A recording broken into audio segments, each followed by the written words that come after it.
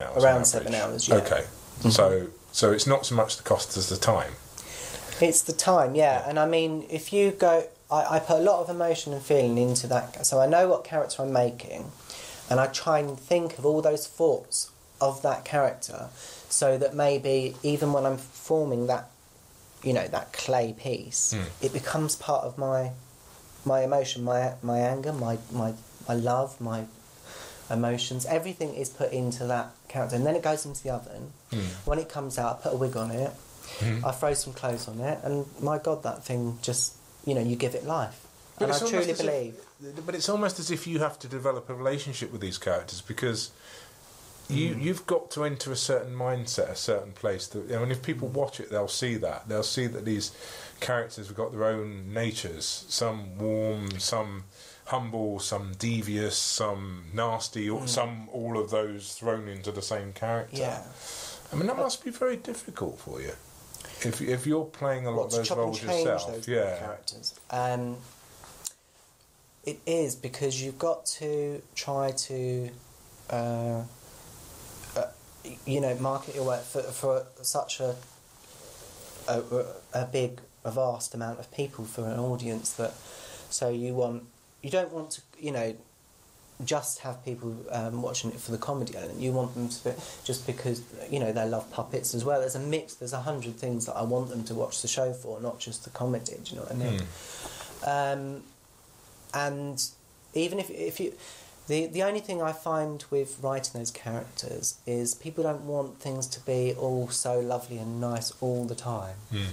So what you try to do in your in your filmmaking is that you you try to bring contrast into each episode. So you'll show uh, clips of some something really horrific happening, and the next minute Tanya's got her sunflower out, and she, she's um, you know talking about something really mundane and really um, uh, trivial, and everything's lovely, and she's with Ross or she's with Tammy, and it's all it's beautiful, and, And, she, that, and that's deliberate.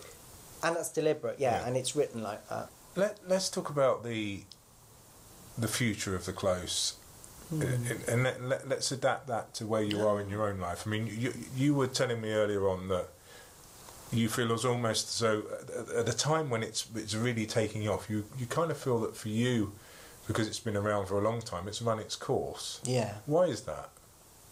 the when you when you said when you mentioned about what's happening like in the episodes at the moment uh, to towards the ending, it really does mean change, and I think that I'm ready for change. A lot of changes in my life. I want new projects. I want um, to create a completely whole new concept. Hmm. So um, Have you got any idea where that's leading you, or what the concept's going to be? I'm very open to new ideas, and um, whether it be film or um, as a, I I love comedy, I- you know, I love comedy, but um, uh, TV shows, sketch shows, um, and of course I can make the puppets and create the sets and, and, and everything. So if the writers get in, the right writers and production, I mean, if I can make that as a producer on my own, imagine how much we, you know, as a team, how much people could put into that. my God.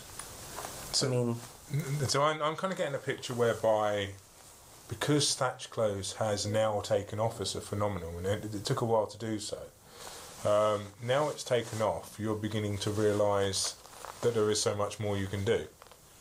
Yeah, because now now that um, it's opened so many doors with all the people that I've that I've begun to know because they've taken they they've seen the production side, you know how serious it's become that that side to it.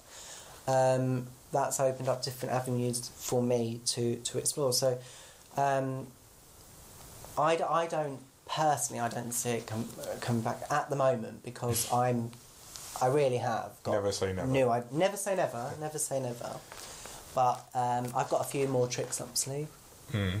Mm. Well, we look forward to that. Have, have any of your friends ever asked to have puppets made of them? Do you know how many times people have asked me if they can me to make a puppet out of them? I mean, what a what a great thing! You know, even my brother said to me, "Can you make-" I still haven't got around to it, and they never offered to pay for the clay. I can understand that being an irritation. Always, yeah, bugs me that one. Yeah. you talk about new projects, Mm-hmm. and I suppose now you've really embraced modern technology. Now Thatch Close is really out there. It's only going to make you thinking of, of, of what next. Mm-hmm. Um, but you've had quite a few people that you've been working with on Thatch Close. So, Yeah. looking at the possibility of new projects, do you, do you The think you would want to go solo, or would you want to bring a group of people together? It's got to be team effort this time around because um, I nearly died about three times making this show, Well, you will insist on setting fire to the set, and just to. I have to throw buckets of water on those Yeah. sets when they go up because they get a bit out of hand. But I'm sure people would be pleased in knowing that most of them are filmed. Those fires are filmed out of the clo- um, out of houses and Right, outside. okay. outside. Yeah, reassuring. Yeah. But we, you know, we have got uh, safe uh, health and safety, but in miniature, so it just doesn't really exist. Um, but the um, yeah, so it's it's all coming it's all coming to a big halt, Hmm. should I say? But that's Um, deliberate. It's deliberate, and um, it really has. Um, I've been doing that for eighteen years, Yeah. so I really have been at a dead end. Well, it's in a sense that must be good for you because people are enjoying Thatch Close. It's it's it's only taken off in recent times, so Mm. so Thatch Close is going to roll for a while, which I suppose, in a sense, gives you time to think about where you're going next. Yeah, exactly. Mm. Mm. So And and uh, and you also sorry you you were mentioning about um, the uh, voiceover talents that you know that, Mm. that's that's involved. Um, Robert Semple, who does Tanya, he's uh, again as I say, he's doing her um, uh, a bit coming up in episode sixteen, and um, did I mention the lovely Paula Woods? yes, I did do, yeah, didn't I? Yeah. So she'll be uh, coming back for episode 16 as Mhm. well. Um, So you're winding the Thatch Close down now with the final episodes, as it were. hmm hmm Yeah. Yeah, wrapping it all up. Um, I was actually going to call the last episode Loose Ends. because I thought that would be quite, you know, good little. I think I think what's important is we give people the opportunity to see this for themselves. So where where can people access Thatch Close?